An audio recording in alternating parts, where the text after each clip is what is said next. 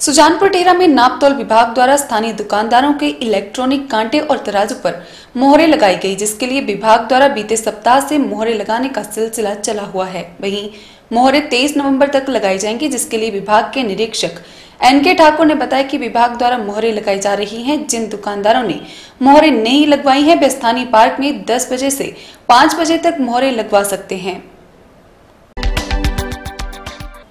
सुजानपुर टेरा में नापतोल विभाग द्वारा स्थानीय दुकानदारों के इलेक्ट्रॉनिक कांटे और तराजू पर मोहरे लगाई गई, जिसके लिए विभाग द्वारा बीते सप्ताह से मोहरे लगाने का सिलसिला चला हुआ है। वहीं मोहरे 23 नवंबर तक लगाई जाएँगी, जिसके लिए विभाग के निरीक्षक एन के ठाकुर ने बताया कि विभाग द्वारा मोहरे लगाई जा रही हैं, जिन दुकानदारों ने मोहरे नहीं लगवाई हैं, वे स्थानीय पार्क में 10 बजे से 5 बजे तक मोहरे लगवा सकते हैं।